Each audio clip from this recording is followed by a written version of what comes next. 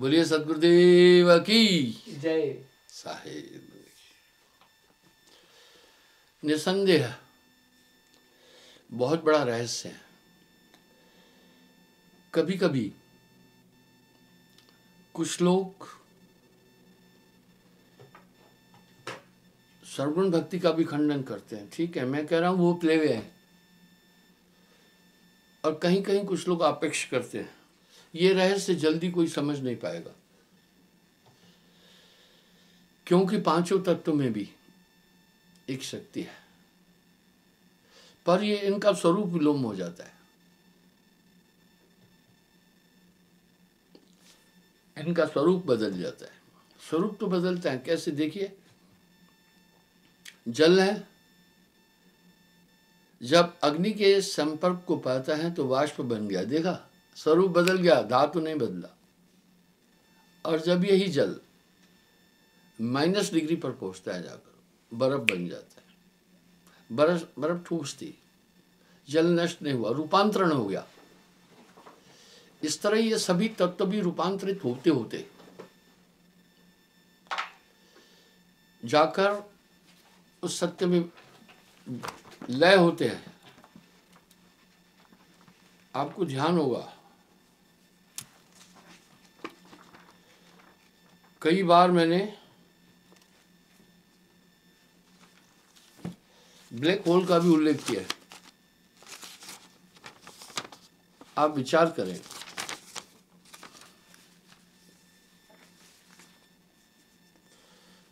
दानव बना black hole. हर second निकल रहा है पृथ्वी जैसे ग्रह। इसमें गुरुत्व आकर्षण और खींचने की ताकत कहाँ से हुई?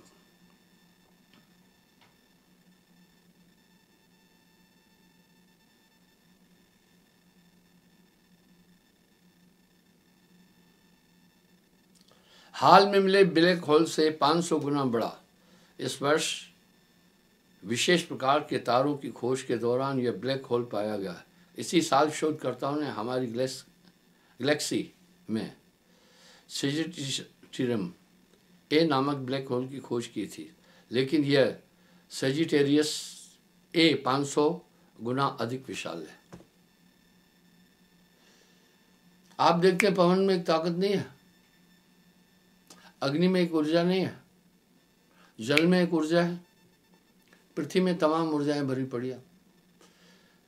यही यजुर्वेद भी कह रहा है, वो सत्ता ने अपने आप को सरगुण में किया। अर्थात ये पाँच एलिमेंट भी रूपांतरित हो जाते हैं। इनको संचालन एक शक्ति करती है।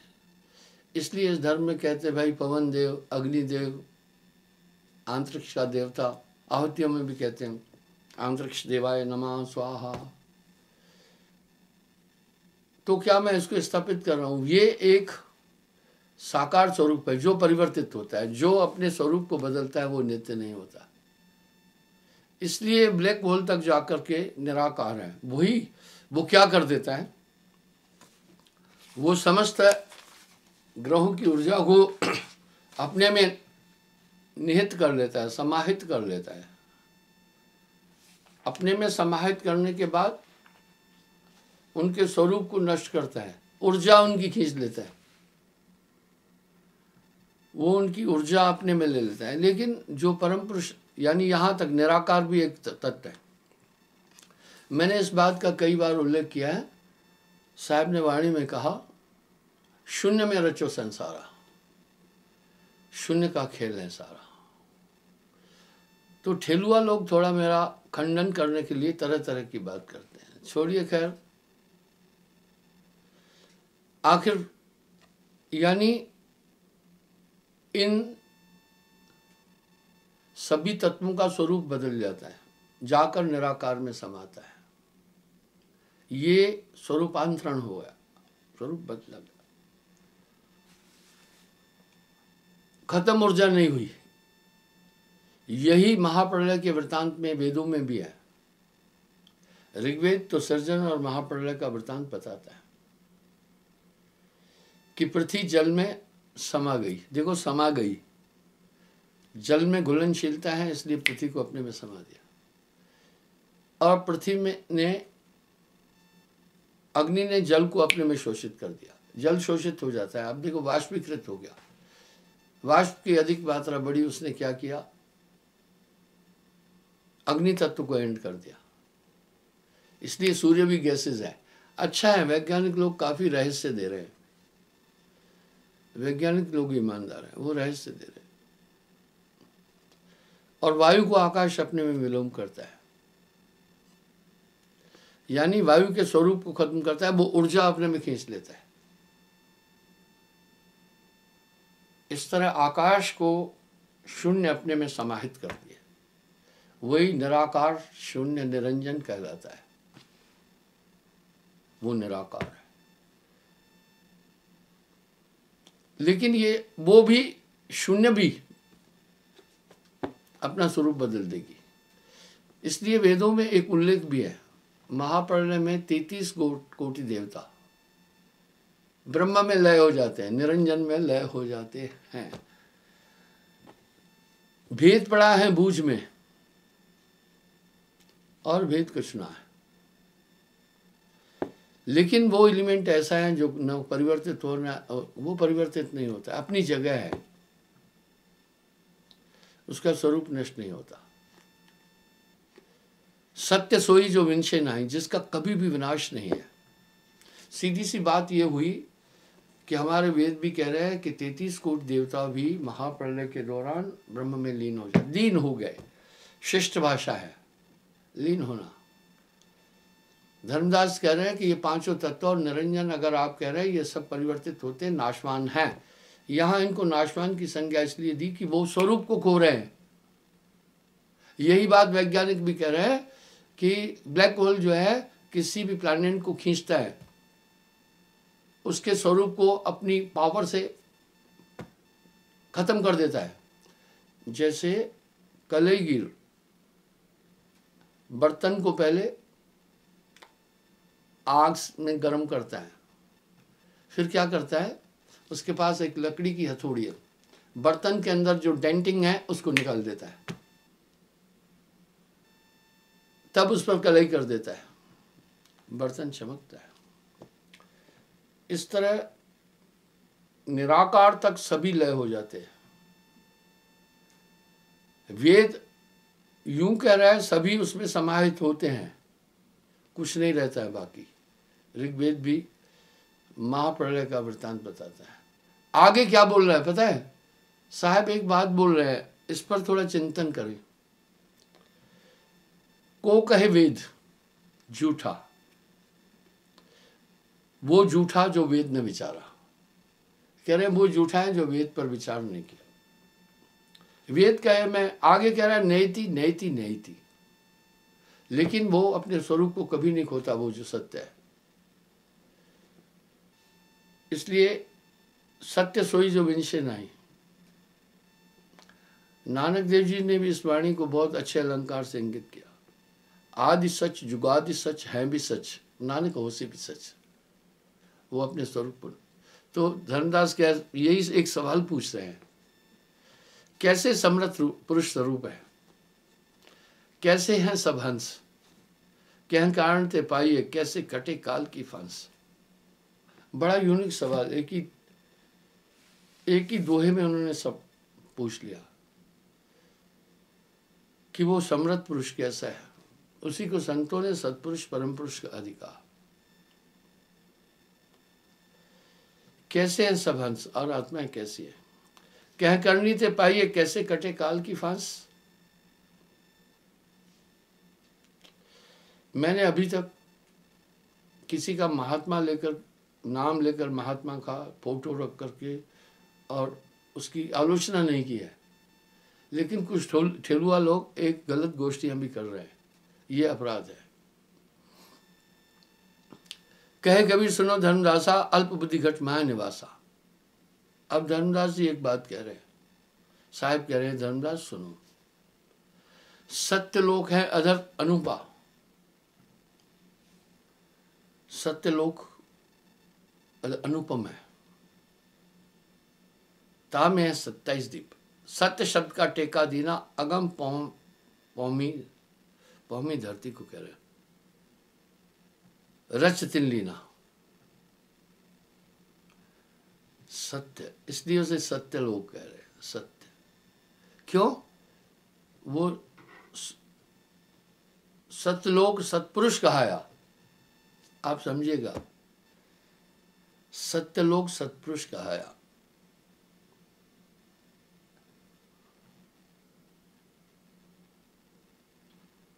पाँव है मध्य सिंहासन। कल्पदीप आसन, संतन को आसन अभिगत भूषण। क्या वहाँ पर बड़े सुंदर अलंकार से साहब समझा रहे क्या वहाँ पर भूषण वस्त्र हैं क्या? जब वस्त्र हैं तो फिर धातु भी होगा आभूषण है क्या? कोई आभूषण नहीं है। क्योंकि हम इस पृथ्वी पर रह रहे हैं। हमें वहाँ का वृतांत, वो अकह लोक है, कहा नहीं जा सकता है। समझाने के निमित्त प्रमाण दे, देना पड़ रहा है। प्रमाण हम पंचभौतिक तत्वों का समझते हैं, क्योंकि हम इस पृथ्वी पर रहते हैं। इसलिए हमें इनके द्वारा प्रमाण दिया जा सकता है।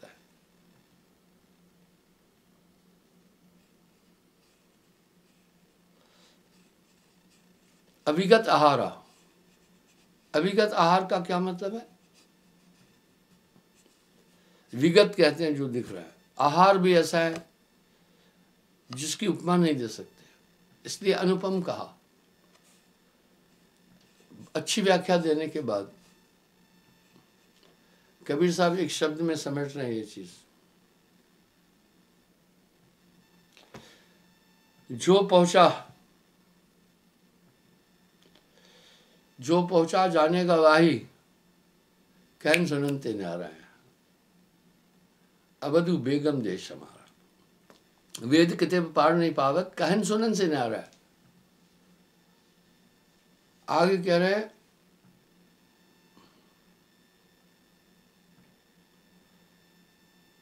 कि वो अभिगत है, उन, उसके विषय में अक्का है, नहीं कह सकते। पर अलंकार से समझाने की कोशिश की है।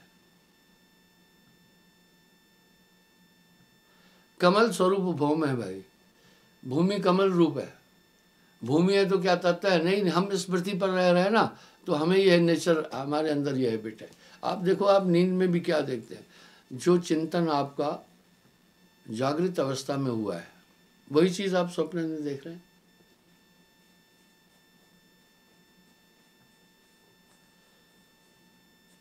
कहाँ की उपमा देहो बताइए? उपमा कहते हैं उदाहरण को।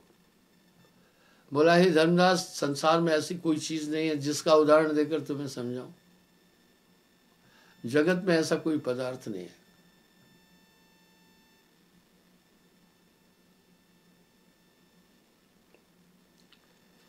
आभा चंद्र सूर्य नहीं पावे, मूल शु की शीश नवा एक जगह साहब कह रहे, अरबन सूर उदय जो हुई, अरबों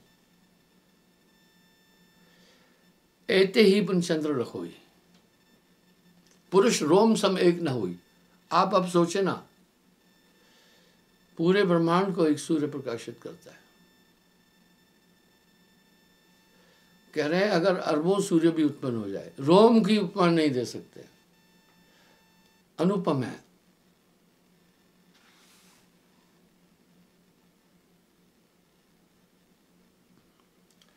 कला अनेक सुख सदा होई। वह सुख भेद यहाँ लह न कोई तहां आवागमन न हुई। तह के गए बहुर न आवे। ऐसा देश हमारा। उत्पत्त प्रलय के वृतांत के बाद ये भी लिखा है, जब पुनर्, पुनः सृष्टि का सृजन होता है तो सबको फिर आना पड़ता है। फिर सबको आना पड़ता है। मैंने एक बात आपसे पहले भी कही है। कि साहब ने कभी झूठ नहीं बोला।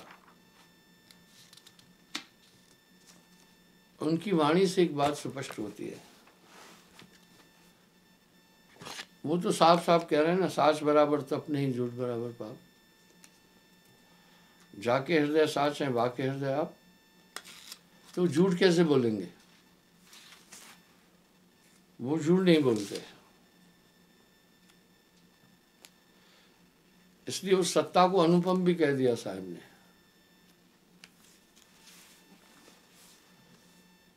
मैंने ये उल्लेख पहले भी किया ये उल्लेख पहले भी किया है। मैं सिद्ध करूँगा, साहब परम चेतन पुरुष है, उनकी तुलना नहीं है।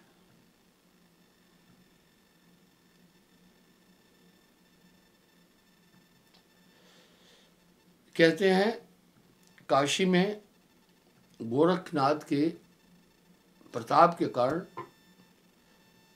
वैष्णव लोग डरते थे। जब वो आने वाला होता था तो वैष्णव रूप नहीं बनाते थे।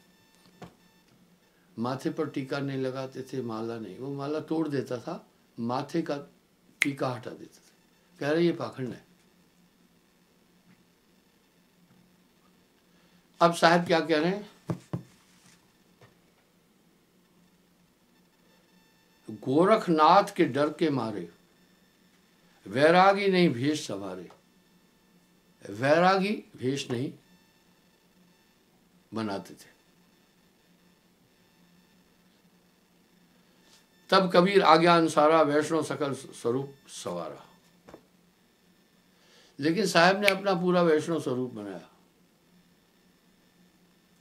सो सुध गोरखनाथ जो पाया काशी नगर शीघ्र चलाया यानी इतना प्रताप था गोरखनाथ जी का।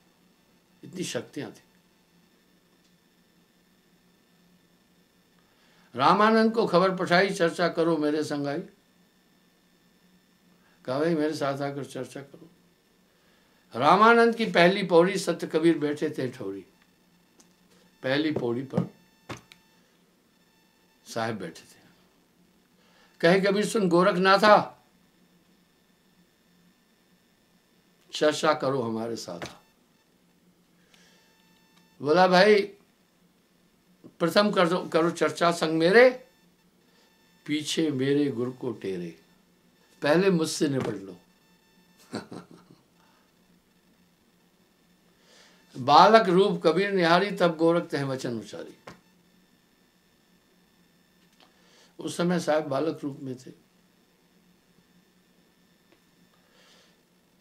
कब के भय वैरागी? कबीर जी, कब के भय वैरागी? कह रहे हैं, तुम कब के वैरागी बने हो?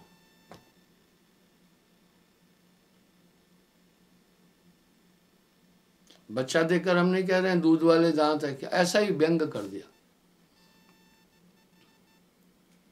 अब कबीर साहब क्या बोल रहे हैं? नाथ जी, हम सब, जब से भय वैरागी, मेरी आदि अंत सुध लागी धूंधू कार आदि को मिला, नहीं गुरु नहीं चला कह रहे तब कोई गुरु नहीं था, कभी कोई चेला नहीं था। जब का तो हम योग उपासा तब का फिर अकेला। आगे क्या कर रहे हैं? आप विचार कीजिएगा। धरती नहीं जद की टोपी दीना, ब्रह्मा नहीं जद का टीका त्रिदेव भी नहीं थे। शिव शंकर से योगी नहीं जद का झोली सिक्का। शिव आदि भी नहीं थे। द्वापर की हम करी आवड़ी, त्रेता को हम दंडा सतयुग मेरी फिरे दुहाई, कलयुग फिरो नौखंडा गुरु के वचन साथ की संगत अजर अमर घर पाया। कहे कबीर, सुनो गोरख जब हम तत्व लखाया। जो बूझे वो बामरा।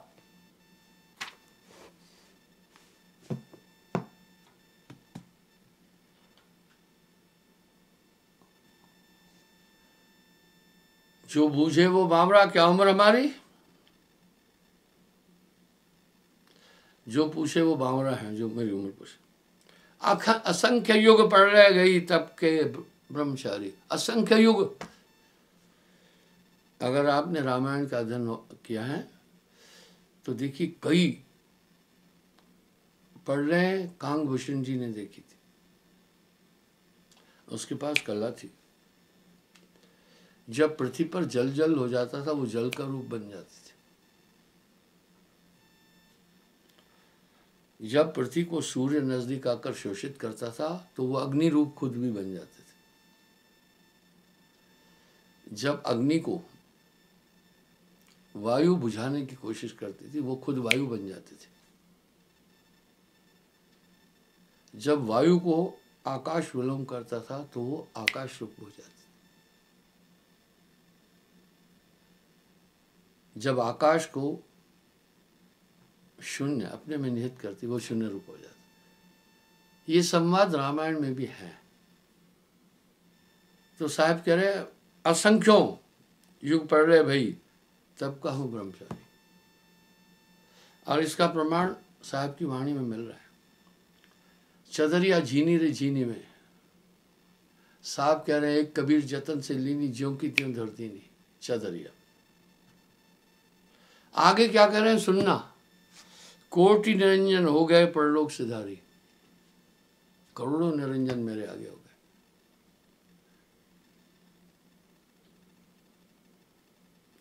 हम तो सदा महबूब हैं, सोहम ब्रह्मचारी। दस कोटि ब्रह्मा भय, नौ कोटि कन्हैया। सात कोटि शंभु भय, मोरी एक पलैया। एक पल। समय का मूल्यांकन। अब लोग कह रहे हैं, काल। समय, काल है। इसको काल भी कहते हैं। ध्यान से सुने। समय का मूल्यांकन किससे करते हैं? क्रियाओं से।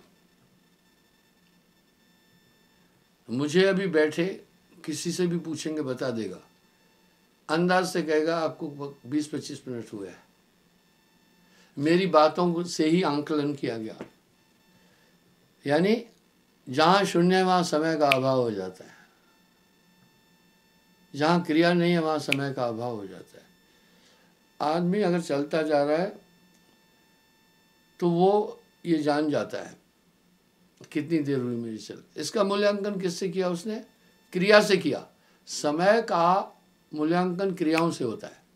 चाहे वो क्रिया वैचारिक हो, चाहे फ़िज़िकल हो, चाहे चलना हो, चाहे बोलना हो, चाहे उठना हो, चाहे खड़े होना है। जहाँ क्रियाहीनता आती है समय का अभाव हो जाता है। इसलिए इसे काल कहते हैं।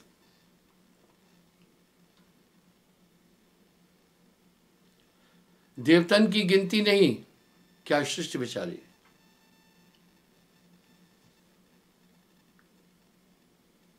नहीं बूढ़ा, नहीं बालक, नहीं भाट भिखारी कहे, कबीर, सुनो हो, गोरख ये उम्र हमारी अब यहाँ साहब गोरखनाथ जी को कह रहे हैं, अब कैलकुलेशन करो, क्योंकि मैं तो का कहे, कबीर, तय बास हमारा, काल अकाल न पावे पारा। हाँ काल अकाल न पावे पारा। अवधु अविगत से चलाया। अविगत जो विगत नहीं है, कोई भेद मरम न पाया ना मेरो जन्म, न गर्भ, बसेरा, बालक कोई दिखलाया।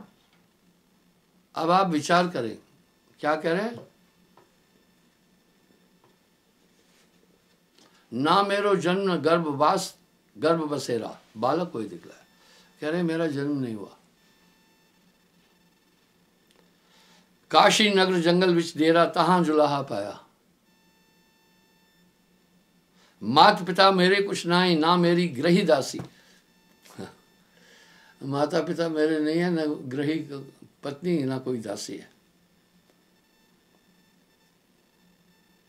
लोगों ने क्या क्या कहानियाँ बनाई?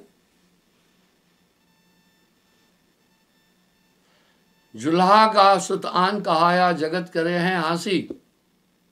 धड़ नहीं मेरे गगन का सुनाई, सुजगम अपारा।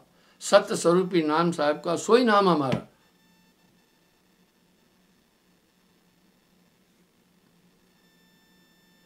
ज्योति स्वरूपी अलग निरंजन, सो जपे नाम हमारा। अभी यहाँ क्या करें? ज्योति स्वरूपी अलग निरंजन, सो जपे नाम हमारा।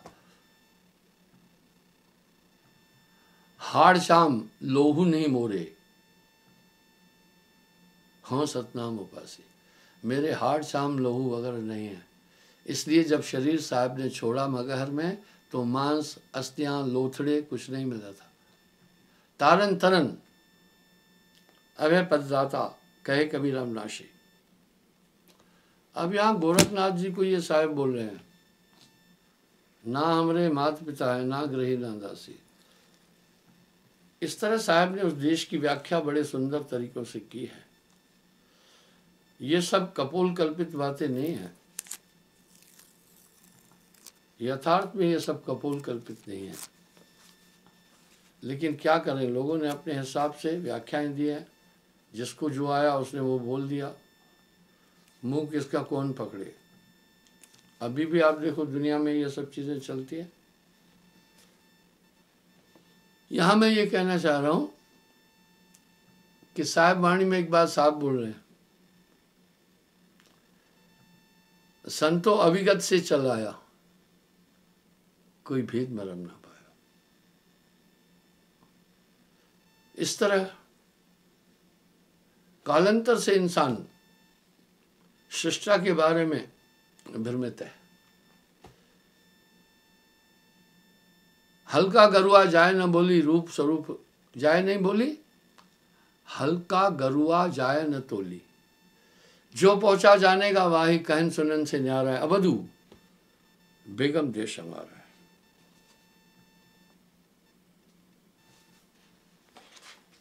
आगे कह रहे हैं, शुक्र झलक वर्णी नहीं जाई, कोटिन वार शशि वर्ण न जाई. ऐते से सदगुरु फरमाई मनुष्य रूप है, लोक है। अभिगत रूप है, लोक हमारा। करनी भेद कहो निर्वारा. कह रहे हैं, मेरा अभिगत रूप है। मैं माता पिता के पेट से नहीं है ऐसी शख्सियत और कोई संसार में नहीं रहा सवाल जो ज... आप देखो ना जो बिज़नेस कर रहे हैं, अपनी चीज़ की उपमा कितनी ऊँची ऊँची बोलते हैं? वो बिज़नेस मैन है, उनको टेक्निक है। अपनी चीज़ को स्थापित करने के लिए वो तरह तरह की बातें करते हैं।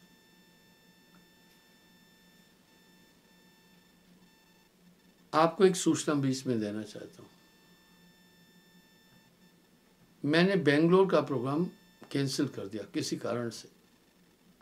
मैं सप्लीमेंट्री फिर दे दूँगा। वजह आप सुने। कल सुबह मैं यहाँ से निकलूँगा, आठ बजे। दिल्ली की फ़्लाइट लूँगा। ग्यारह बजे दिल्ली पहुंचूँगा। दिल्ली की फ़्लाइट लूँगा, कुछ रुक कर वहीं, चार बजे के आसपास वहाँ पहुंचूँगा। फिर मैं वहाँ प्रोग्राम देने जाऊँगा। वहाँ प्रोग्राम देने के बाद सुबह फिर मैं फ़्लाइट पकड़ूँगा। नौ बजकर कुछ मिनट पर। वो पहुंचेगी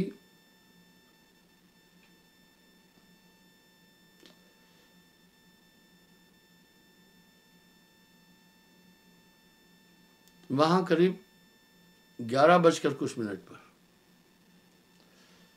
एयरपोर्ट से आश्रम का रास्ता सवा घंटे का यानी साढ़े बारह पहुंचूँगा वहाँ से फिर मेरी नेक्स्ट फ़्लाइट जो है, वो पाँच बजे के आसपास है। जी। तो मेरे पास समय सिर्फ़ डेढ़ घंटा बच रहा है। इससे रायपुर का प्रोग्राम डिस्टर्ब हो जाएगा। फिर क्या है? वहाँ से मैं बेंगलुरु पहुंचूँगा साढ़े आठ बजे। और सुबह फिर भगम भगी होगी। साढ़े आठ से ग्यारह बजे सत्संग देना लोग पहुँच भी नहीं पाएँगे। वहाँ रहने की व्यवस्था भी नहीं है। वहाँ से फिर मैं दिल्ली आकर अमृतसर आना था। तो ये बहुत हैट्रिक हो गया। बाद में मुझे लोगों ने राय दी कि गुरुजी, बेंगलोर का प्रोग्राम अभी रोकें थोड़ा, फिर सप्लीमेंट्री आप दे देना बेंगलोर का प्रोग्राम। मैंने कहा, ठीक है। नहीं तो दोनों तीनों प्रोग्राम डिस्टर्ब हो रहे थे। इसलिए मैं माफ़ी चाहता हूँ। बेंगलोर के लिए मैं उपयुक्त टाइम देकर अलग प्रोग्राम दूँगा, क्योंकि यहाँ से बेंगलोर के लिए जम्मू से डायरेक्ट फ़्लाइट भी है। तो कोई और समय निकालकर मैं वहाँ पहुँच जाऊँगा। क्षमा चाहता हूँ, समय हो रहा है। कल मैं पुनः हाजिर हूँगा लेकिन एक बात नहीं भूलना है, स्मरण नहीं भूलना। ये हमारे अंदर से आवरण हटा देता है। सुमरण से हृदय प्रकाशे दुर्मत भाजे, पातक नाशे। थोड़ा सुमरण बहुत सुख जो कर जाने कोय सूतने लगे बिलावना सहज अति सुख है आप विचार करना थोड़ा सा। जैसे आप काया की शुद्धि करते हैं, इसलिए सुमरण आपके अंतकरण की शुद्धि का सबसे बड़ा स्रोत है। जब तब संयम साधना सब सुमरण के माँ कबीर जाने संत जन सुमरण समकचना साहिब।